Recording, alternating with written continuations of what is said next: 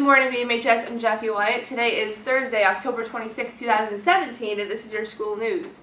Uh, today, the BMHS Orchestra and choirs will be performing their annual Halloween concert on today, beginning at 7 o'clock in, in the BMHS auditorium. So come support the arts. It's great, man. Good evening. Good morning. I'm the homeowner, and I'm here with Ms. Depierro about uh, mock trial. What is mock trial, Um, mock trial is a club that involves literally mock trials. So we're going to be doing practice trials. We're going to hopefully be competing against other schools as well. Uh, what, what room do you meet in for mock trial? We meet in my room here. It's room 3109.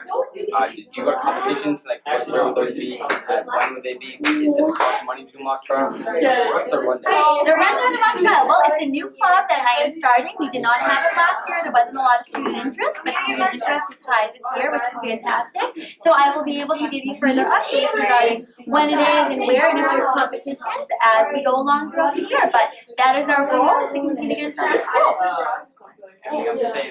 That's it. And that's all we have for you today, and we will see you tomorrow.